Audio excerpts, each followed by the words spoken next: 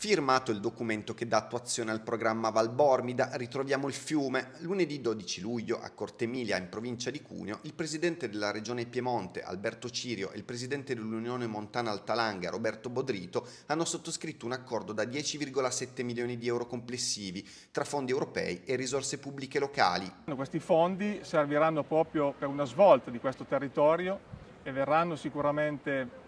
utilizzati per tutta una serie di servizi, soprattutto legati alla scuola, legati alla sanità, alle attività produttive, ai trasporti. Io quindi credo che è una grandissima svolta, sono somme veramente importanti e abbiamo una grande responsabilità di spenderli bene. Con questi soldi si finanzieranno gli infermieri di comunità, vuol dire che chi starà male non dovrà aspettare di aggravarsi e andare in ospedale, ma avrà una persona che andrà a trovarlo a casa. La firma di oggi è importante perché è come aver firmato un assegno da 10 milioni e 700 mila euro per un territorio, quindi eh, un territorio come questo che spesso era stato dimenticato dai governi regionali e dai governi nazionali e oggi invece riceve un attestato di considerazione molto importante perché è tangibile. La Regione fa la sua parte garantendo attraverso i fondi europei circa i due terzi delle risorse e riconoscendo la bontà del progetto predisposto dall'Unione Montana Altalanga, una strategia che coinvolge 33 comuni delle province di Alessandria, Asti e Cuneo ed oltre 18.000 abitanti.